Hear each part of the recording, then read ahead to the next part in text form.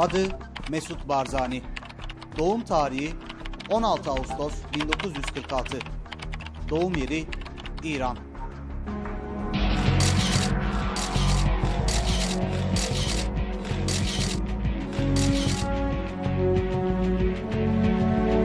Mesut Barzani'yi Mesut Barzani yapan, yani Kuzey Irak'ta söz sahibi Kürt liderlerden biri olmasını sağlayan, en az kendi yapıp ettikleri kadar kökleri de aslında.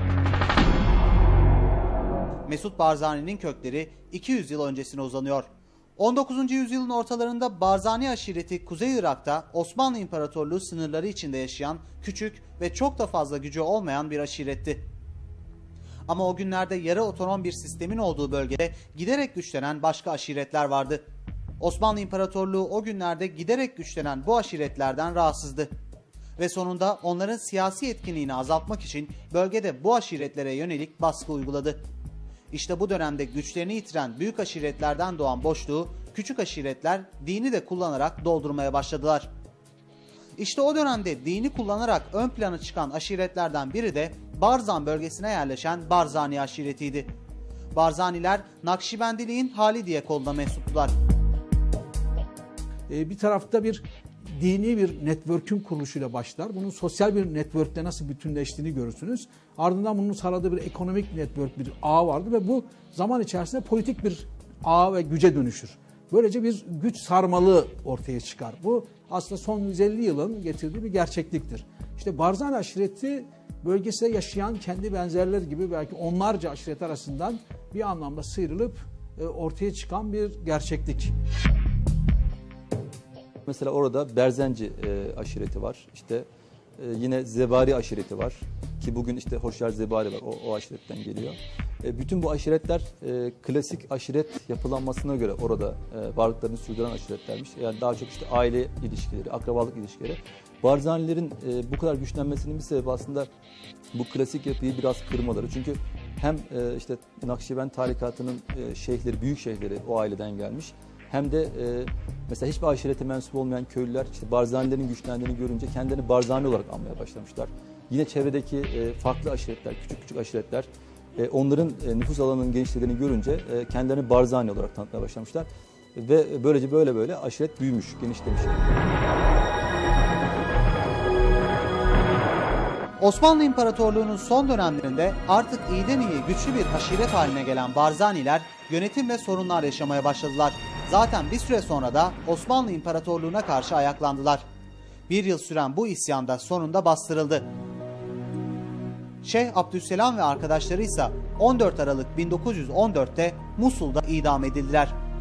Aşiretin başına ise Şeyh Abdüsselam'ın kardeşi Ahmet Barzani geçti. Birinci Dünya Savaşı'nda Osmanlı İmparatorluğu Kuzey Irak'taki topraklarını kaybetti. Artık Barzani aşiretinin de içinde bulunduğu o bölgenin yeni hakimi İngiltere oldu. Ama Barzaniler için bağlı oldukları devlet değişse de bağımsızlık istekleri değişmedi. 1931 yılında bu kez İngilizlerin denetimindeki Irak hükümetine karşı ayaklandılar. Ancak Irak ordusu bu ayaklanmayı bastırdı.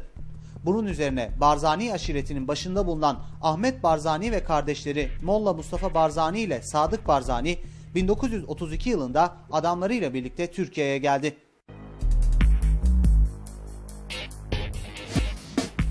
Barzani ailesi Türkiye'de 2 yıl yaşadıktan sonra 1934 yılında Irak hükümetine teslim olarak kendi topraklarına geri döndü. Ama bu kez de Basra'ya sürüldüler. Barzani ailesi bu sürgün yüzünden yıllarca Basra'da Süleymaniye'de yaşadı. Barzani aşireti Süleymaniye'de yaşarken İran'ı işgal eden Sovyetler Birliği bölgeden çekilmeye karar vermişti.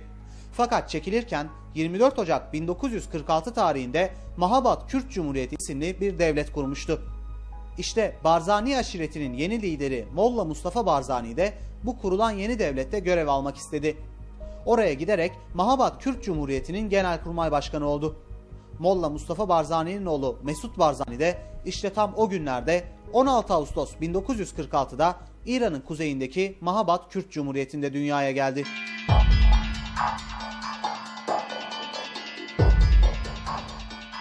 Ee, 1946 yılında e, güneyden İngilizler destek veriyor. Kuzeyden de Sovyetler Birliği destek veriyor. Silah yardımı, para yardımı yapıyorlar. Ve e, Ahmet Barzani ile e, Molla Mustafa Barzani beraber o harekete destek vermek üzere İran'a geçiyorlar. Orada silahlı mücadeleye geçiyorlar ve e, işte Ocak ayında 1946 yılının Ocak ayında Mahabat Devleti'ni kuruyorlar. Aslında buna bir devlet demek de mümkün değil. Daha çok hani bir devletçik denilebilir. Çünkü yüz ölçümüne baktığımızda e, takriben 37 bin kilometre kadar. Bugün işte Konya'nın biraz daha küçüğü yani ve içerisinde 4-5 kasaba var. E, ama o devlet yaşayamıyor tabii. Çok uzun ömürlü olmuyor. Çünkü e, zamanla Sovyetler çekiliyor, İngilizler desteğini çekiyor. Ve e, Aralık ayında, e, aynı yılın Aralık ayında e, İranlılar e, feci bir e, baskınla e, püskürtüyorlar oradaki güçleri. E, işte o zaman ilk Mahabat Devleti'nin e, devlet başkanı olan Gazi Muhammed ve e, iki arkadaşı e, oradaki Mahabat'taki Çarçırı Meydanı var. Orada idam ediliyorlar.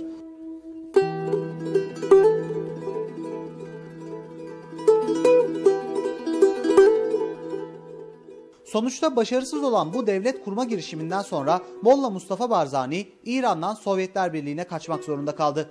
Henüz birkaç aylık bir bebek olan Mesut Barzani ise aşiretle beraber Irak'a döndü. 1958 yılına gelindiğinde Irak'ta iktidar bir darbeyle değişti. Irak kralı Faysal'ı devren General Kasım yeni lider oldu. Ve İran yeni lideri Sovyetler Birliği'ne kaçan ve halen orada yaşayan Molla Mustafa Barzani'yi Irak'a geri çağırdı. O dönemde Kürtlerin Irak hükümetiyle araları çok iyiydi. Hatta o zaman küçük bir çocuk olan Mesut Barzani sık sık General Kasım'ı ziyaret ediyordu. Ee, bir gün okula gittiğinde Bağdat'ta okul e, okulda okuyor. Sınıfta şeyde e, General Kasım'ın fotoğrafını görüyor arkadaşlarına. Ha bu benim arkadaşım diyor okuldaki arkadaşlarına. Onlar da alay ediyorlar. Bu Irak devlet başkanı nasıl senin arkadaşın olur? İnanmıyorsanız gidip gelin kendiniz gözlerinizle görün diye birkaç arkadaşının çevresini topluyor ve başkanlık sarayına e, gidiyorlar. Başkanlık sarayında muhafızlar bunları durduruyor. Ne yapacak, ne yapmak istiyorsun, ne işiniz var burada falan diye. O da diyor ki ben e, Mesut Barzani işte e, Kasım'ın devlet başkanının arkadaşıyım. İnanmıyorlar yani gidip ama ilginç de geliyor bunları. Bir çocuk genç bir çocuk gelmiş küçük bir çocuk 12 yaşlarında falan. Ben devlet başkanının arkadaşıyım diyor. Haber veriyorlar Mesut Barzani diye birisi gelmiş sizin arkadaşınız olduğunu söylüyor. Ve içeri alın diyorlar. Çocuklar da e, görüyorlar tabii işte çok hoş e, davrandığını bunlara bir takım şeyler hediyeler falan veriyor. Ondan sonra arkadaşları içinde de konu, şeyi değişiyor. Daha ayrıcalıklı bir konum edilmeye başlıyor.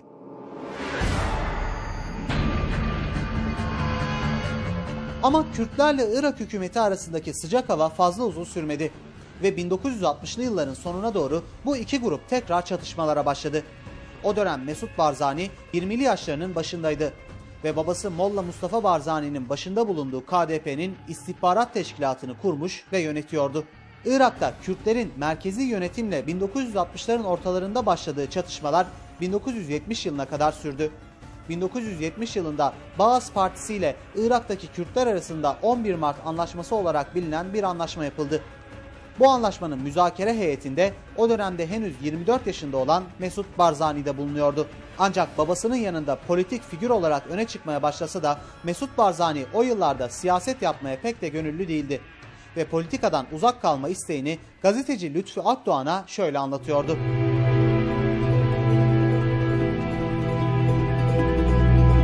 Ben peşmergeler arasında büyüdüm. Onlar arasında öleceğim. Biliyorsunuz ki peşmerge teşkilatı yapılan anlaşmaya göre kaldırılmayacaktır. Irak Silahlı Kuvvetleri'nin bir kolu olarak bölgede emniyeti koruyacaktır. Onun için ben de peşmergeler arasında kalmayı tercih edeceğim. Politikayı esasen sevmiyorum.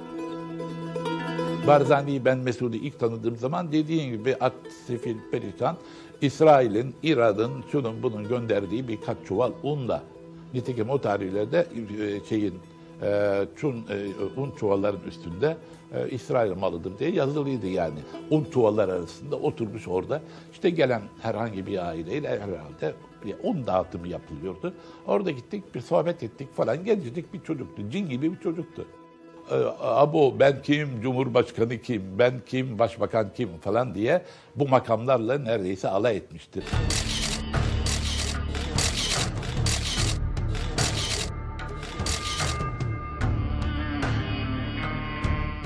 Mesut Barzani çocukluk yıllarında siyasetten uzak durmayı tercih etmişti.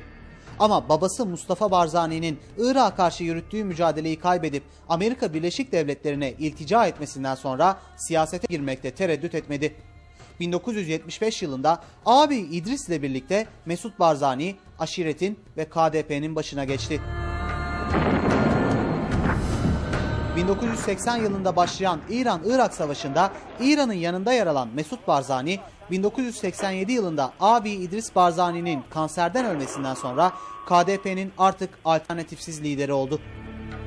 Yani Barzani'lerde benim görebildiğim kadarıyla eee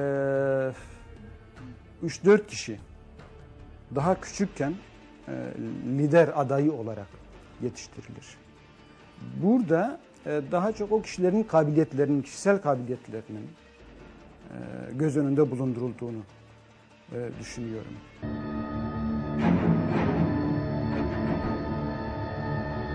1991'de başlayan Körfez Savaşı'nın ardından Barzani aşiretinin yeni lideri Mesut Barzani, Saddam Hüseyin'i devirmek için bir ayaklanma başlattı. Ancak Irak güçleri Kuzey Irak'taki Kürtlerin bu ayaklanmasını bastırdı. Yaşanan bütün bu gelişmelerden sonra Amerika Birleşik Devletleri ve Birleşmiş Milletler'in devreye girmesiyle Irak ordusu bölgeden çekilmek zorunda kaldı ve bölge uçuşa kapatıldı. Bu olay Barzani'yi daha da güçlendirdi. Zira aynı dönemde Türkiye'de PKK terörü şiddetini iyice artırıyordu. Başbakan Turgut Özal da PKK ile mücadelede Kuzey Irak'taki güçlü gruplardan yani Barzani ve Talabani'den faydalanılması gerektiğini düşünüyordu. 1992 yılında Özal Ankara'da Mesut Barzani ve Celal Talabani ile bir görüşme yaptı. Bu görüşmenin ardından hem Barzani'ye hem de Talabani'ye kırmızı pasaport verildi.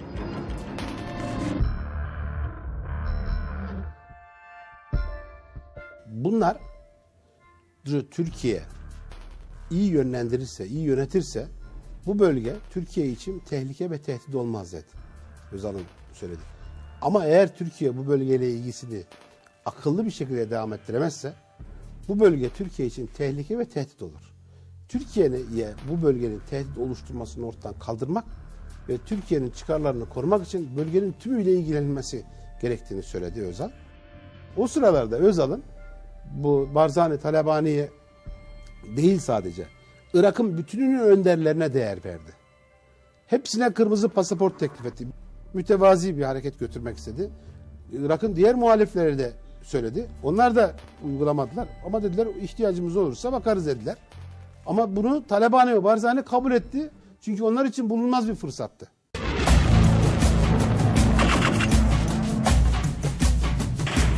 Bu görüşmelerden sonra Türkiye ile Mesut Barzani arasındaki ilişkiler iyice yumuşadı. Hatta Türkiye'nin 1992 Ekim'inde Kuzey Irak'a yaptığı ilk büyük operasyona Barzani ve Talabani'ye bağlı peşmergeler de katıldı.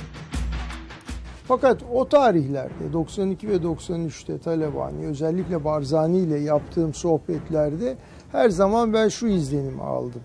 Ee, Irak Kürtlerinin e, PKK'ya karşı e, mücadelesinde her zaman bir sınır var. Bir sınırın ötesine gitmeleri mümkün değildi. Çünkü bunu ben Talabani'ye de Barzani'ye de sorduğum vakit özetle şu yanıtı aldım.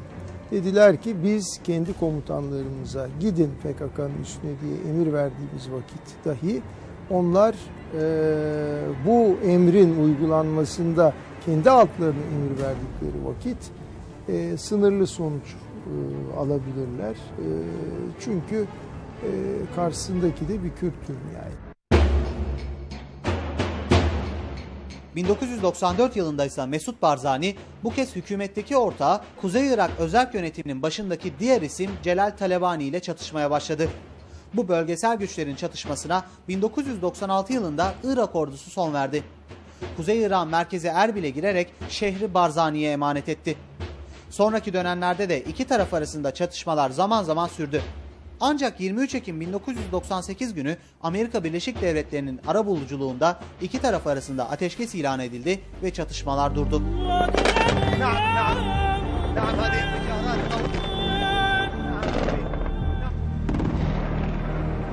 20 Mart 2003 günü Mesut Barzani'nin yaşamında bir dönüm noktası oldu.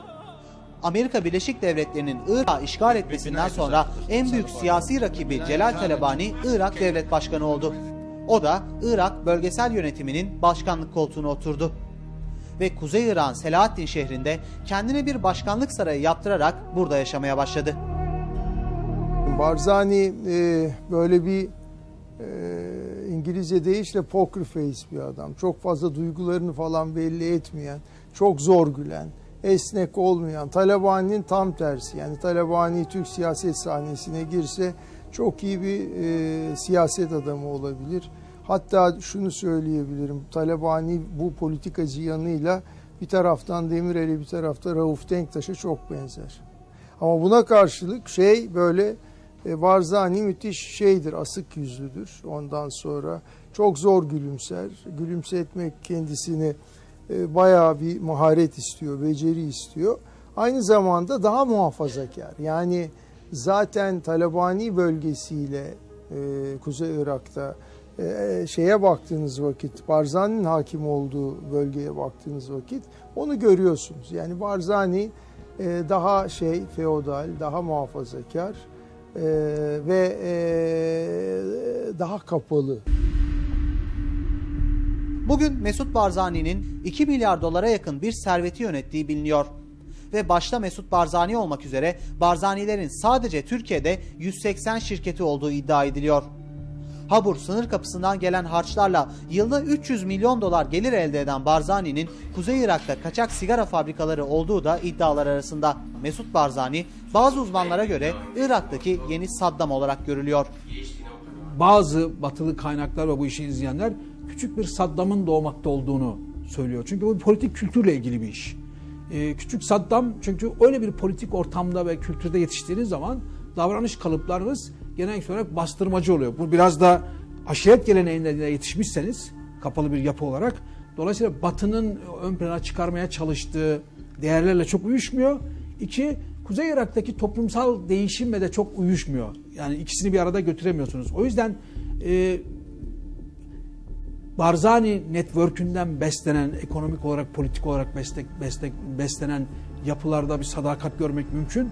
Ama o sistemin dışında kalan ve o sistemden yeteri kadar pay alamadığını düşünenler açısından ise bence küçük bir Saddam olarak görülüyor. Mesut Barzani'nin yeni Saddam Hüseyin olup olmadığını zaman gösterecek. Ama kara harekatı ya da sınır ötesi operasyon sırasında olduğu gibi her fırsatta yaptığı agresif, sert çıkışlardan da anlaşılabileceği gibi Mesut Barzani önümüzdeki günlerde de Türkiye'nin gündeminde yer almaya devam edecek.